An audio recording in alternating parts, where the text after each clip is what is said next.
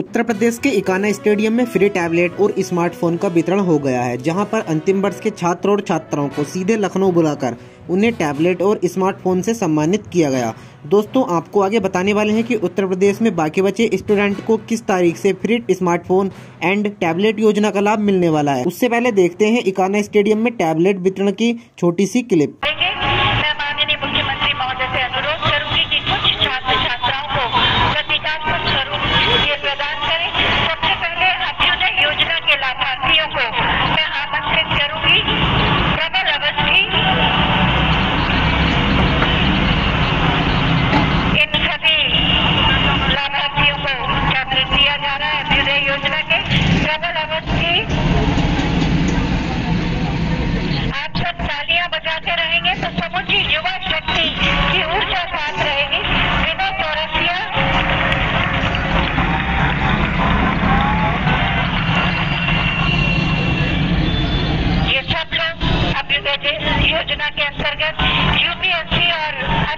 प्रतियोगी परीक्षाओं की तैयारी कर रहे हैं।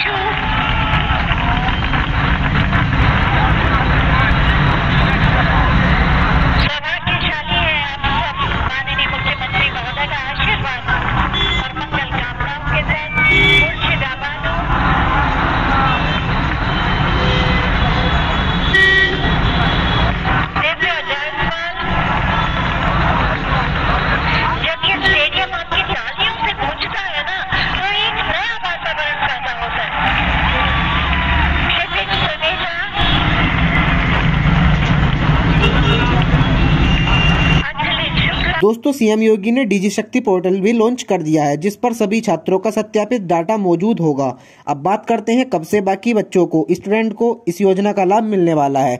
दोस्तों, आपको बता दें कि जल्द ही यूपी सरकार बाकी बचे स्टूडेंट को जल्द से जल्द इस योजना का लाभ देने वाली है। सूत्रों की माने तो सबसे पहले अंतिम वर्ष के स्टूडेंट को इस योजना का लाभ मिलेगा, फिर बाकी सेमेस्टर वाइज स्टूडेंट को लाभ मिलेगा और जल्द ही आपको यूनिवर्सिटी, कॉलेज और विश्वविद्यालय में जल्द से जल्द टैबलेट प्रोवाइड किए जाएँगे और हर ज़िले के डीएम को इसका कार्यभार सौंपा जाएगा। डीएम अपने अंडर में काम कर रहे कर्मचारियों और अन्य अध्यक्षों की मदद से इस योजना को संपन्न किया जाएगा।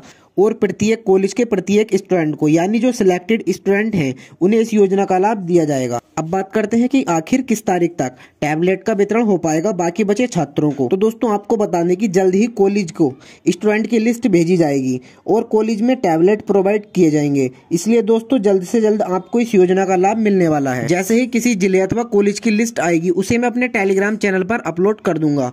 सो दोस्तों, आप हमारे टेलीग्राम चैनल को ज्वाइन कर लें, जिसके लिंक वीडियो के डिस्क्रिप्शन में दिया हुआ है और वीडियो को लाइक और शेयर ज़रूर कर दें।